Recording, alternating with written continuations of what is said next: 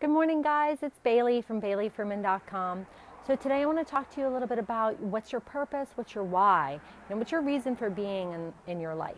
So oftentimes this is like the fuel that ignites us. It gets us excited, it gets us motivated, it gets us uh, driving through when things get tough.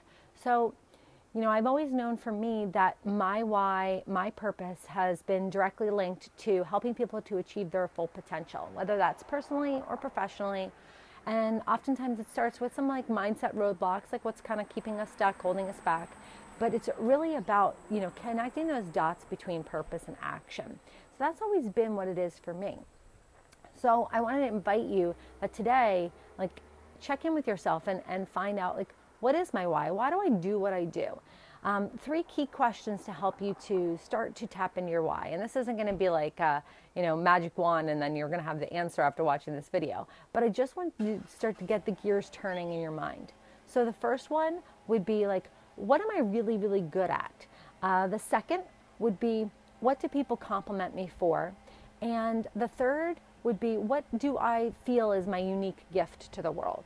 So, first, what am I really, really good at? Second, what do people compliment me for? And third, what is my unique gift to the world?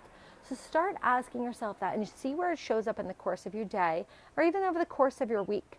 All right, guys, um, I gotta go, but I hope that you enjoy the rest of your day. Let these questions seep in for you, and you can grab two free chapters of my new book at ownyourpowerbook.com. The URL is up above. All right, enjoy the day.